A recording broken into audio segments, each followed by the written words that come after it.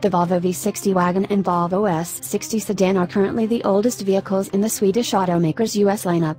Both debuted back in 2010, just as Ford was selling Volvo to Chinese automaker Geely. Since then, the brand has seen a revitalization, with a string of hits that started with the 2015 XC90, continuing on with the S90, V90, XC60 and new XC40. Now we have our first look at the upcoming Volvo V60.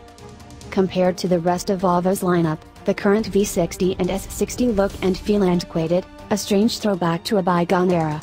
The exterior styling still holds up, has there ever been a bad Volvo design? But the V60's age is obvious from a glance. The difference in the interior is far more glaring, but unfortunately these new spy photos only show a heavily camouflaged exterior. Overall, the new V60 basically looks like a smaller scale version of the full-size Volvo V90 wagon. For most people, that should be a good thing.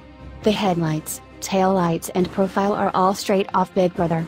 It's difficult to make out too much through the black cladding, but an opening on the front left fender suggests that this is the T8 plug-in hybrid variant. Depending on when the car launches, the V60 may only come with electrified powertrains. No word on when we'll see the new model, but don't expect to wait too much longer. We're sure Volvo is just as eager as we are to get it onto showroom floors and into the Autoblog garage.